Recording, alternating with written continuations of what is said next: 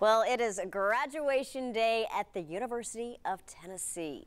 The university awarded more than 1,000 undergraduate degrees and 578 graduate degrees and certificates this week. Today's guest speaker, VFL Inky Johnson, who did what he does best, motivate through speaking. Yeah, it's that life is a journey you know, ebbs and flows, ups and downs, successes, failures, right? Opposition, adversity, uncertainty. And so being able to process all of that and realizing what you want to accomplish when it comes to mission purpose, but also not forgetting who you are, right? And what you possess as an individual. And the most important thing is not forgetting the people that played a part in getting you in this position.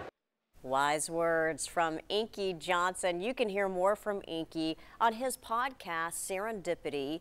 He devotes time to mentoring athletes and underprivileged youth in addition to this podcast and all of his other speaking arrangements. But we congratulate all of our area graduates, and it's great to see Inky.